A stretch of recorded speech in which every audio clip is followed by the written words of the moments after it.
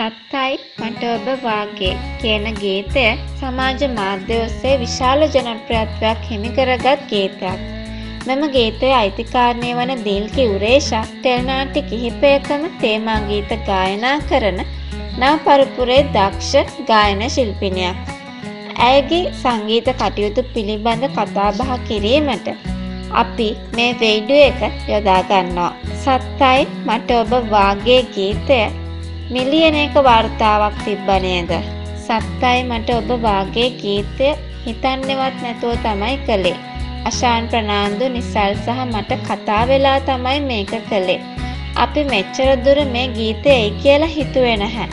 ඇත්තටම මේක කලින් වොයිස් කරලා තිබ්බ එකක්. දාන ට්‍රැක් එකක් නැති නිසා දාලා බැලුවා. මොකද වෙන්නේ කියලා. හිතා ගන්නවත් බැරි විදිහට ට්‍රෙන්ඩින් එකක් වුණා. දවස් 6කින් විතර වගේ. දවස් 12කින් විතර මිලියනයක් විවස් ලැබුණා. ගීතය එතරම් ජනප්‍රිය වුණේ කොහොමද? ඇත්තටම මටත් හිතාගන්න බැහැ. ඒ ගීතයට අදටත් හොඳ රසිකයන්ගේ ප්‍රතිචාර ලැබෙනවා. නරක ප්‍රතිචාර නම් ලැබෙන්නෙම නැති තරම්.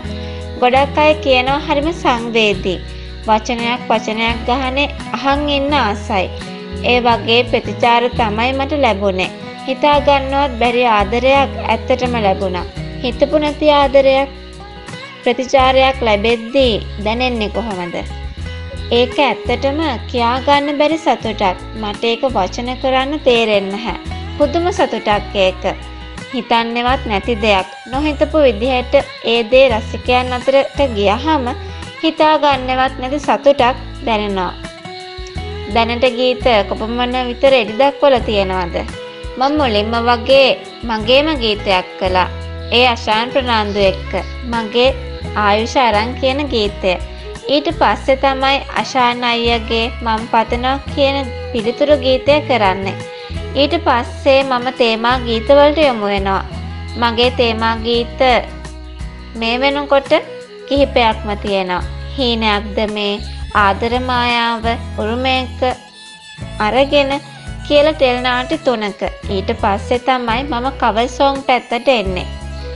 දුලීක අයියා නිසල අයියා එක්ක ඔබට ආදරේ මං එක දවසක් එන්න සොයා කියන කවර්ස් දෙක කළා. ඊට පස්සේ තමයි හින්දි ගීතය සිංහල වර්ෂන් එක විදිහට සත්තයි ඔබ මට වාගේ කියන කවර් සෝං එක කරන්නේ. ගීත ගායනයට යොමු වුණේ කොහොමද? මගේ පුංචි කාලේ ඉඳන්ම හීනයක් වුණේ සංගීත ගුරුවරයෙක් හෝ ගායිකාවක් වෙන්න. ගෙදර පරිසරයත් එක්ක අම්මා තාත්තගෙන් ඒකට මට බාධාවක් වුණේ නැහැ. මම ඒ වෙනුවෙන් මහන්සි වුණා.